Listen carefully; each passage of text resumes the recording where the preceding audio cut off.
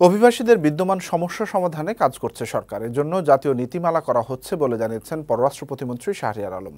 সকালে রাজধানীতে global compact for migration, GCM এর আঞ্চলিক পরামর্শ সভায় এসব কথা বলেন পররাষ্ট্র প্রতিমন্ত্রী।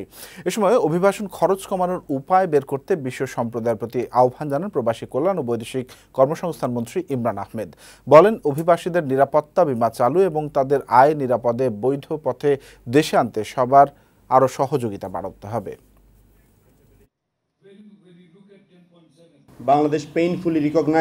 বাংলাদেশ বেদনাদায়কভাবে সহিংসতায় শিকার সীমান্ত অতিক্রমকারীদের চিহ্নিত করছে।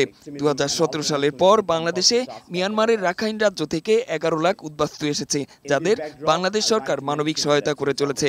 এই প্রেক্ষাপটে সীমান্ত বন্ধ করে দেয়া অভিবাসন সমস্যার সমাধান নয় বরং আরও যৌক্তিক ও আবেগহীনভাবে চিন্তা করতে হবে। While dealing with international migration.